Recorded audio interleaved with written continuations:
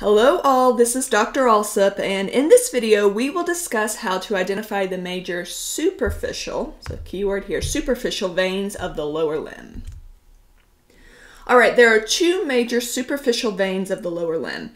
Recall, what makes these veins superficial is that they will be embedded within the subcutaneous tissue, but of course in terms of imagery a lot of times that's removed in order to better see the structures. So the longest one, the, so the longest superficial vein, and it's pretty hard to miss, is the great saphenous vein. Sometimes you hear greater saphenous vein. And I want you, when you think about the great saphenous vein, to think medial. Medial is key. Chances are, if you see a superficial vein in a medial position, it is the great saphenous vein because it will run throughout the entire length of the lower limb.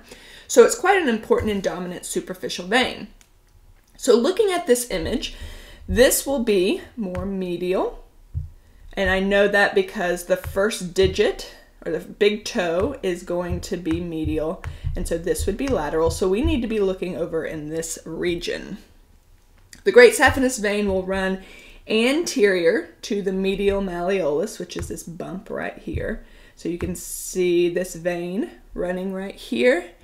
And this is really where it will start to begin to take its medial course. You can, I'm kind of outlining it from here. It will continue up. And do keep in mind, I kind of lose it for a second, but it's going to continue all the way up um, on the medial thigh region as well, and will eventually drain into the femoral vein up around the femoral triangle region in the superior portion of the thigh.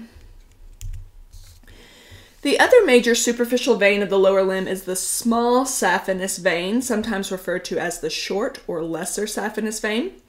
As its name would suggest, it is not as long as the great saphenous vein and will only really be visible in the posterior leg region.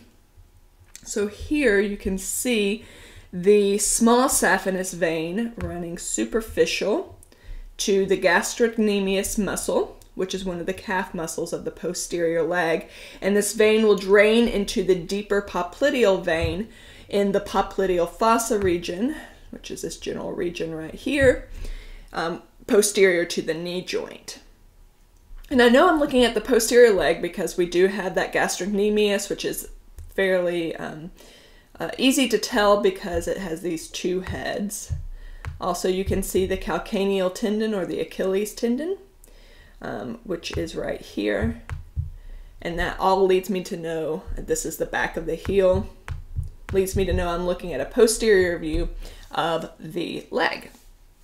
So again, to review, when thinking great saphenous vein, think medial for the entire lower limb.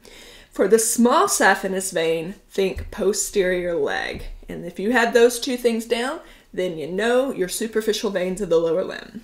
Excellent. Pretty straightforward here. Thank you for your time and attention, and always feel free to reach out with any questions.